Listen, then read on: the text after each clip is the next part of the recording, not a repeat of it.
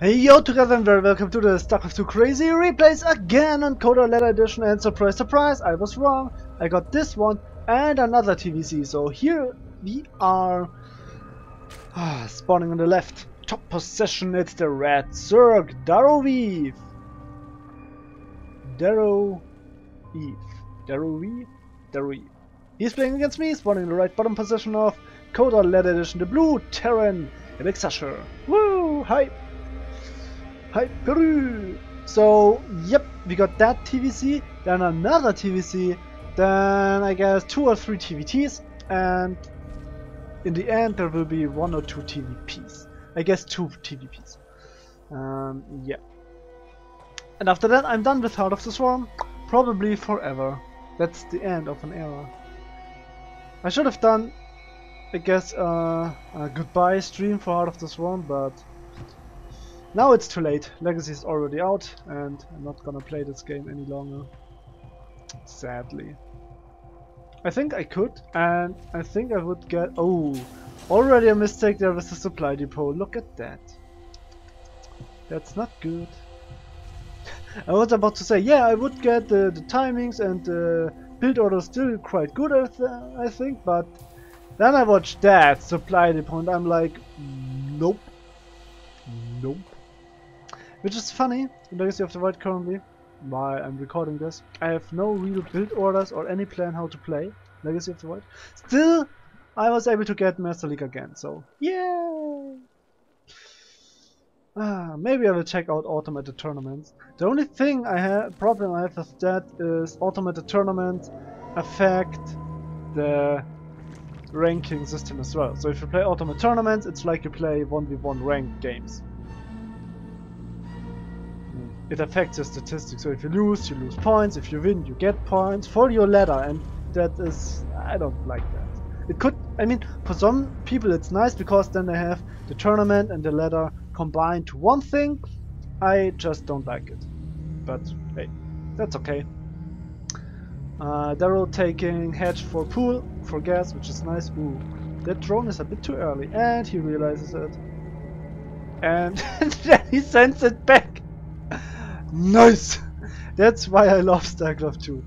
For some reason. That that's one reason why I like it. It's those those random moments. When you realize a player and his thinking behind his uh, actions, that is really amusing sometimes. Ah, so for me the barracks producing a Reaper, probably two Reaper because I'm getting a command center down there. And as a Zerg, I mean it doesn't help you anyhow because most of you won't play out of this round. Uh, ooh, the factory. Uh, if you see the command center being produced at the low ground, you can most likely assume that it is going to be two Reaper. Or maybe even three. Uh, because otherwise it would be too risky because of the Zerglings to go for the thing in the long run. Oh, close one. Nice save there. So will he lose another? Oh, he loses the drone. Ooh, two kills on that Reaper. I would love to see what died. I guess a Zergling and a drone. Uh, yeah, considering the unit lost tab, that has to be it. And the Reaper gets away. Nice and safely. So third command center behind that.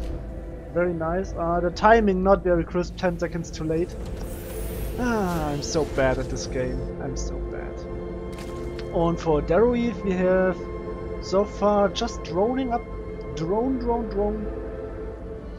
Uh, if I would be a professional player, my Reaper would definitely be active right here.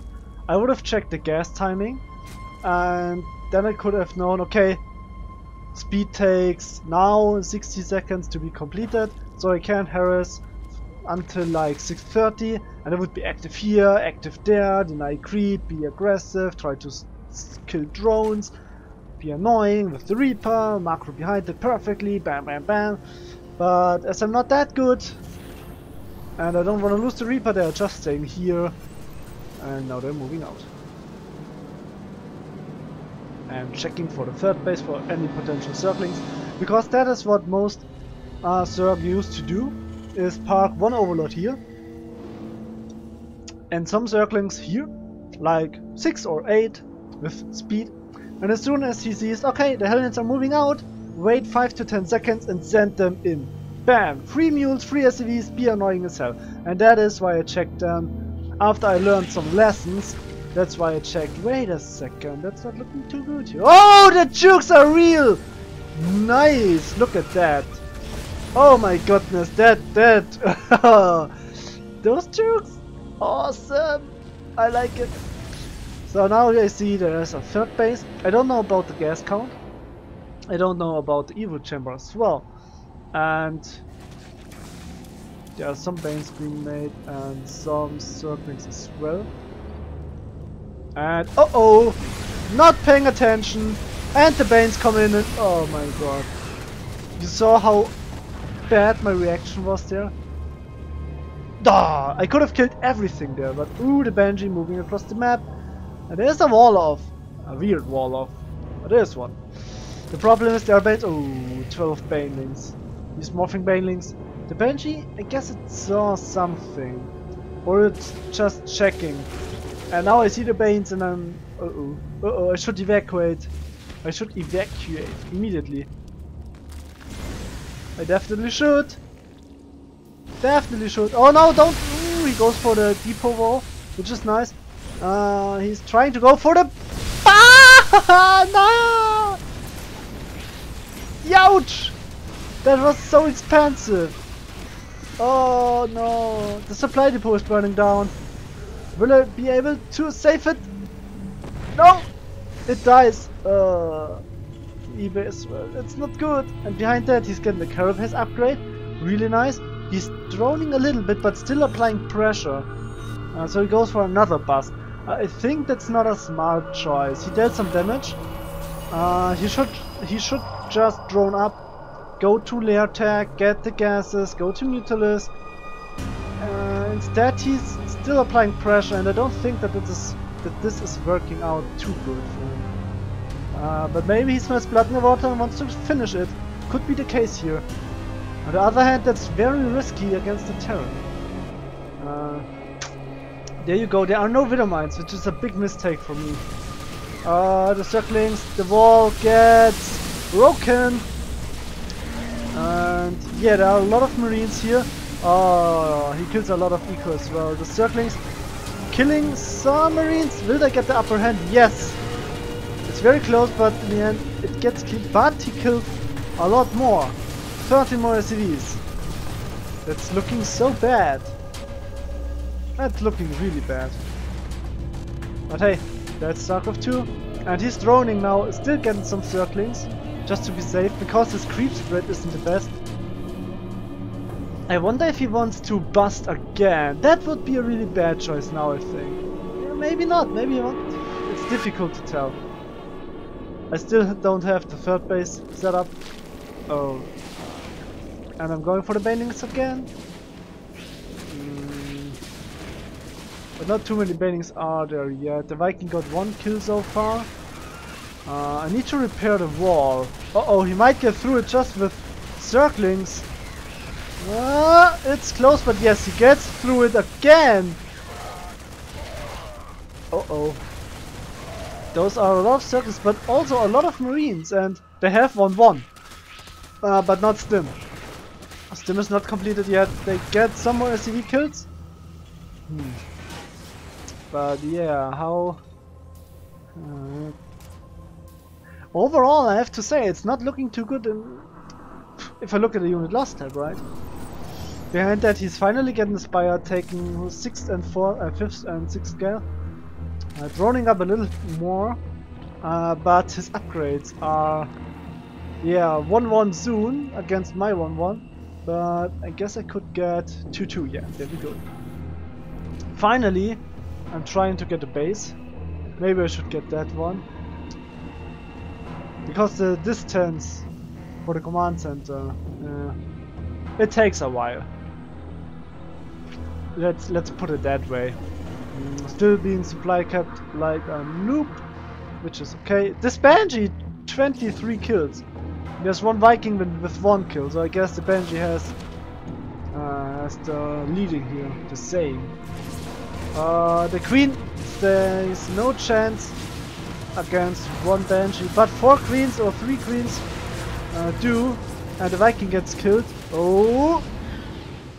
Uh, I evacuate for now.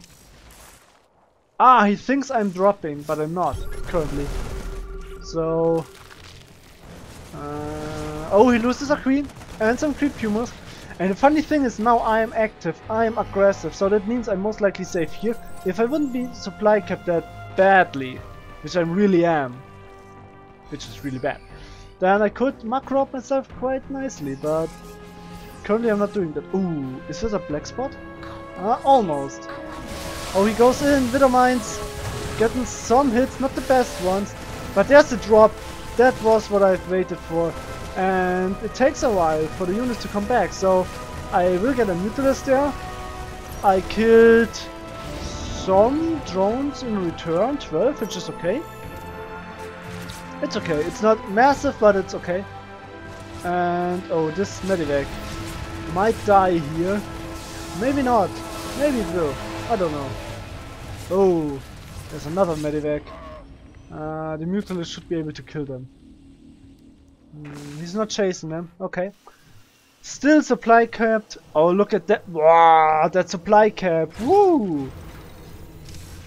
But I'm massively, so whatever. Oh, oh, Widow Mines, Widow Mines, Widow Mines. Oh, 22 Zergling kills and 8 on that one. And now all he got left are Banelings, but without Zerglings, they are not that good.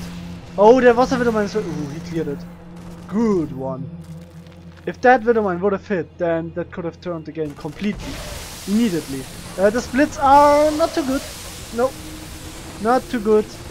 Uh, they are okay, but could be better, of course. So the, the main goal in splitting is to have one Baneling hit only one Marine at a time. That would be the perfect split. Uh, possible for human, I guess. Oh, the Widow Mines dealing massive splash friendly fire there. Another Widow Mine here. He clears all of them very nicely. Mm, upgrade wise, 1-1 against 2-2. And that is a big issue. He's still just playing with one Evo Chamber, I guess. Oh, the Widow! that hurts. I love Widow Mines. I love them. Ah, the splits very bad here. Losing the Widow Mines for free as well. And the Medivac, I guess, two. Not very good. The bunker is empty, also quite bad. It's useless. Uh, empty bunker is quite useless. There, uh, it doesn't protect anything. Uh, the splits are okay now. And there are the Widow Mines coming. 2-2 against 1-1 still. And... Oh, the Zergling, the Zerglings, Zerglings. Uh, he's getting a spine crawler. He's so desperate. Look at the bank, but he has no gas. Even though, even though he's harvesting a lot of gas, he's not getting too much there. And I guess his injects are too bad because he's floating a lot of minerals. Uh, he got no macro edge. That's that's the issue, I guess, here for Darui. Mm, clears the Widowmine with a Baneling, also not that good. And he will be able to kill those guys. Plus 2 will finish right now for the third player uh, which is quite good. But he's losing the hatchery here, which means even less larva. So he can't spend he can't spend even less money. Hmm. So one drop moving into the main base, the rest looks like it's going for the uh, third base. Mm, the Widowmine's dealing good damage here. Uh, but there's not a whole, lot a whole lot left, just 6 marines and 5 medivacs, so almost every marine got a uh, personal healer. Uh, but he's taking massive damage in the main base. Oh, a lot of Banes died there. He's still working on those marines, but there are the reinforcements. The Widow Mines are recharging soon. He needs to get out of there ASAP, which he is doing. And ooh, I would say for Darui, if it's not looking too good. Uh, Banelings are moving in. Oh, oh, the Widow Mine! 10 kills! 10 more kills! Going up to 21. And he tries to sneak by. Oh no! Ooh, massive splash damage. This uh, is his last army, which is not a whole lot. If you look at it, 2 Mutalisks, 10 Zergling, 3 Queens. Against almost 30 marines, 7 medivacs. Should... Oh, I'm floating my main CC towards the fourth base. Because I want to be able to apply more pressure. I'm still heavily supply capped. Um, which is not good. I should produce some more depots. But I guess I can close the game out right here. The split should be better.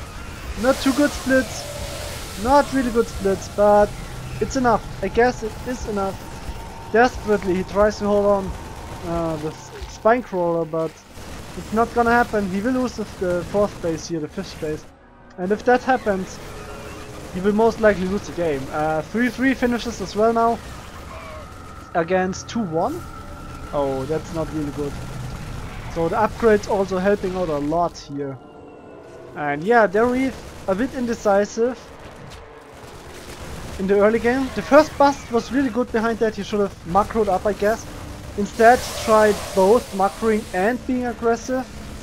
And that didn't work out too well. So, yeah, punching your head against a brick wall most likely not gonna help you. And that's exactly what happened here. The Widowmines! Massive damage! No 4GG Stefano explosions. In the end, I guess I can win right here, right now. And we should see the GG soon. Because there's nothing left for Daruid. Dropping soon under 60 supply. He's morphing a last bunch of banelings here and yeah, producing some Zerglings, but against 3-3 marines, even though if he cleans that one, uh, oh, friendly fire Widowmine. But that's that's not gonna help him at all. Uh, there's too much AleXusher everywhere.